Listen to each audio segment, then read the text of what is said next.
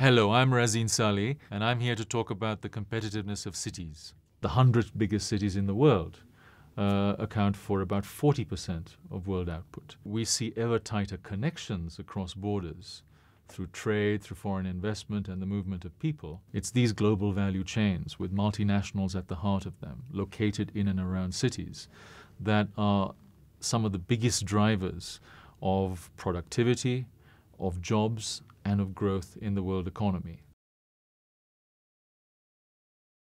Cities are the repository of the middle class around the world. And of course, the middle class is increasing hugely and, of course, demanding more goods and services. There are going to be challenges in all these areas for cities, uh, existing cities that are about to become bigger, as well as for new cities, so called second or third tier cities, uh, that are going to mushroom across the planet, mainly outside, outside the West. 90% or more of the urbanization that we're going to see in this decade and the next is going to come from outside the West and overwhelmingly in Asia. By the end of this decade, about 60% of the Chinese population uh, will be living in cities. I mean, a huge transformation if you consider that China was a poor and rural society only three and a half decades uh, ago.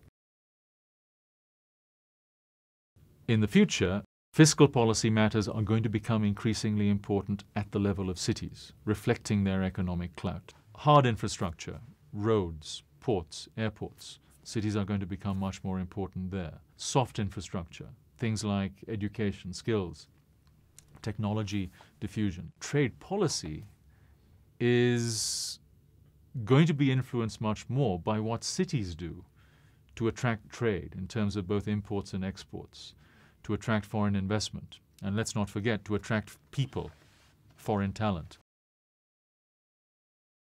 Singapore and Hong Kong already figure at the top of all sorts of uh, global indexes. So, what are they getting right? Well, to begin with, they're free ports. They have zero tariffs on imports and exports. Uh, they're fully open to foreign investment. They don't discriminate between foreigners and locals when it comes to foreign investment.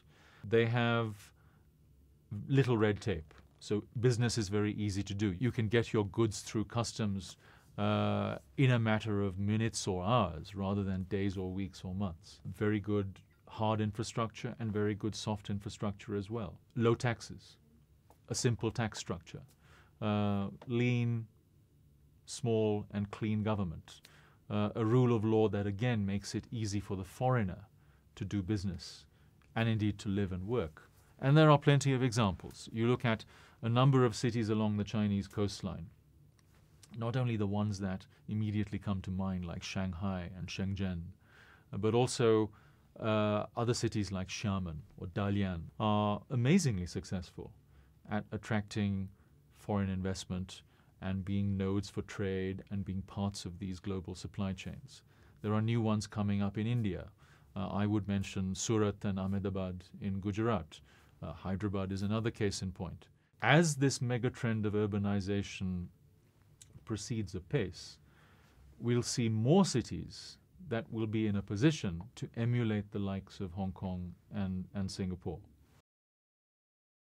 Countries, regions, if they're to gain from these trends of urbanization, they need to decentralize power and policy competence as much as possible to the municipal level so that we have representation, accountability, taxation, expenditure, and other things besides, all in much better alignment. And I think the upshot for, for business leaders is to engage with city leaders, not only on the, the traditionally local municipal policies I mentioned before, but much more so on policies that you know, they would think in the first instance of engaging with policymakers at the national level and lobbying policymakers at the national level. They need to do that much more actively now at the city level on things like trade, on foreign investment, uh, on workers, skilled workers in particular. There needs to be a much better